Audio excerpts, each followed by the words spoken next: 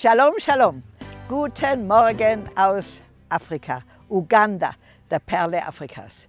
Ich bin hier in unserer Mittelschule, die vor vier Jahren begonnen hat. Wir sind immer noch in, im, im Bauen, aber wir haben schon begonnen mit fast 1000 Kindern und es wächst von Jahr zu Jahr. Also hier habe ich meine liebe Direktorin dieser Schule, Madame Edith, eine wunderbare gläubige Frau, die voll des Heiligen Geistes ist, aber auch eine sehr gute Leiterin, klaren Charakter, klare Worte, klare Leiterschaft. Und hier hinter mir stehen die zukünftigen Leiter von Afrika. Are you the future leaders of Africa? Yes. Who is?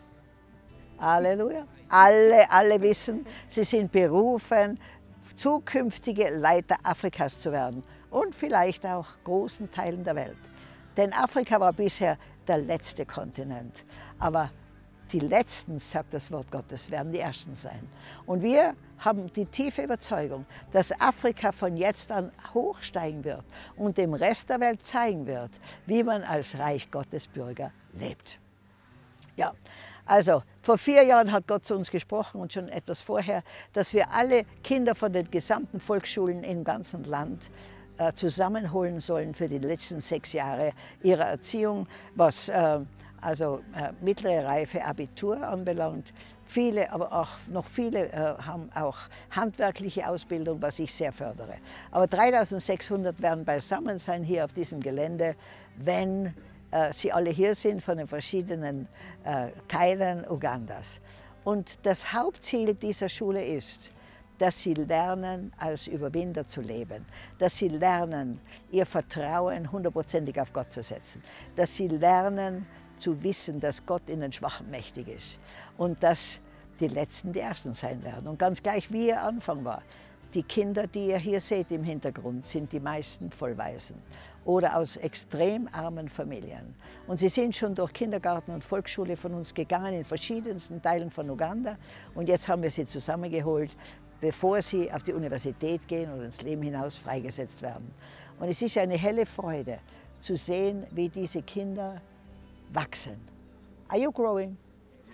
Who is happy to be here? Also, alle sind sehr glücklich, hier zu sein. Und bei uns, die Kinder gehen gerne in die Schule, denn sie wissen, was es für ein Privileg ist. Ja, wir haben bisher jetzt gebaut diesen Schulblock, den ihr da hinten seht. In einigen Tagen werden wir den zweiten Schulblock nur noch einen Stock höher beginnen. Äh, und dann wird, das wird dann die Fülle dieser Schule sein. Wir haben schon eine Schlafräume für, für 1600 Kinder äh, fertig. Jetzt sind wir in zwei, drei Monaten sind wir auch mit dem zweiten Schulblock fertig.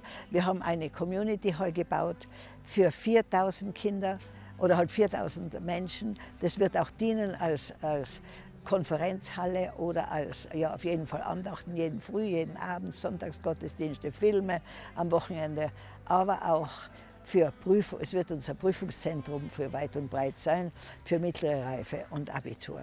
Und äh, ja, dann sind wir dabei, jetzt in diesem neuen Komplex auch eine Klinik unten einzuführen, denn das ist auch eine Vorschrift von der Regierung, dass wir diesen Kindern medizinische Betreuung geben. Und unsere Ärzte sind sehr gut, denn sie beten und verlassen sich nicht nur auf ihr medizinisches Wissen. Ja, ihr Lieben, ich freue mich unwahrscheinlich, euch das zu zeigen. Und bitte sagt nur nicht, die Maria hat es geschaffen. Denn ich stehe genauso staunend hier wie jeder andere. Gott gibt mir Aufträge, ich gebe die Aufträge weiter und die Afrikaner erfüllen sie. Und da bin ich so stolz auf mein, da hat kein einziger Weißer mitgearbeitet. Alles Afrikaner.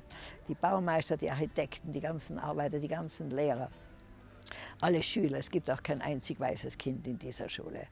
Und, äh, und da bin ich so stolz, im, im besten Sinne, dass Gott hier so etwas umsetzt.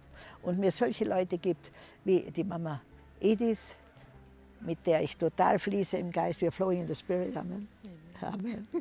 Und, und wo wir wissen, wir haben hier einen Auftrag von Gott. Nicht uns zu verherrlichen, sondern Gott zu verherrlichen und diese Kinder durchbrechen zu sehen in den Traum, den Gott für sie hat. Denn Gott hat für jeden von uns einen Traum, ihr Lieben. Und den Traum zu erreichen, ist der Sinn des Lebens. Und da möchte ich auch jedem von euch jetzt sagen, bitte Gott um den Traum, den er für dich hat. Und da hat Alter keine Rolle.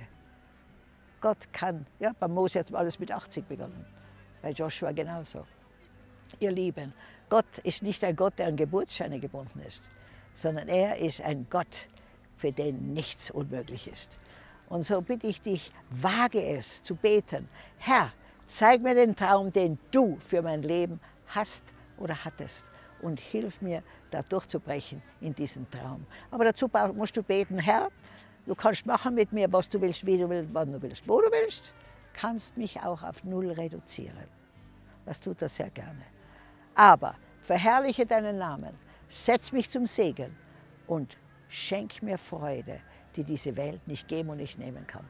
Und ich garantiere euch, ihr Lieben, was ihr hier seht, ist alles aufgrund der, der Aufträge, die Gott mir gibt, Träume, Visionen. Er spricht zu mir und ich sage, ja, ich stehe dir zur Verfügung, muss mir aber alles Geld geben, alle Leute, alle Pläne, alles dazu.